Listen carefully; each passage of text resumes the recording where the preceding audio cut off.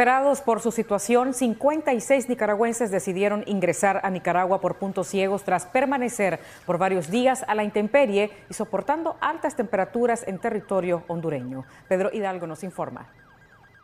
El grupo de 56 nicaragüenses que hasta hace pocas horas se mantenían varados en el puente fronterizo con Honduras, ubicado en el Guasaule, ingresaron al país por puntos ciegos, según explican medios de comunicación y autoridades migratorias de Honduras. Según las fuentes, los migrantes nicaragüenses bajaron del puente en donde permanecían, debido a que autoridades migratorias de Nicaragua impedían su ingreso. Información refleja que supuestamente, al ver la situación precaria en la que los ciudadanos se encontraban, la Policía Militar de Honduras no impidió su descenso por uno de los costados del puente, para luego internarse en territorio nica.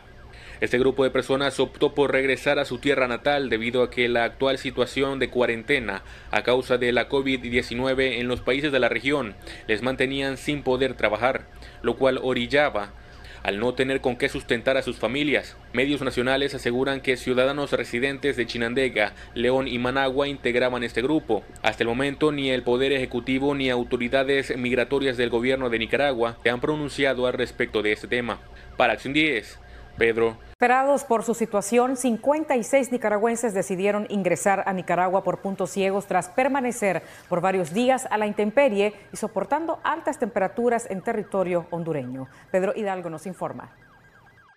El grupo de 56 nicaragüenses que hasta hace pocas horas se mantenían varados en el puente fronterizo con Honduras, ubicado en el Guasaule, ingresaron al país por puntos ciegos, según explican medios de comunicación y autoridades migratorias de Honduras. Según las fuentes, los migrantes nicaragüenses bajaron del puente en donde permanecían, debido a que autoridades migratorias de Nicaragua impedían su ingreso.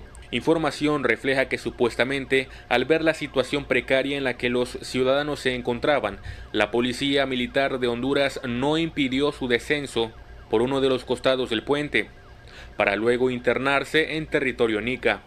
Este grupo de personas optó por regresar a su tierra natal debido a que la actual situación de cuarentena a causa de la COVID-19 en los países de la región les mantenían sin poder trabajar, lo cual orillaba al no tener con qué sustentar a sus familias. Medios nacionales aseguran que ciudadanos residentes de Chinandega, León y Managua integraban este grupo. Hasta el momento ni el Poder Ejecutivo ni autoridades migratorias del gobierno de Nicaragua se han pronunciado al respecto de este tema.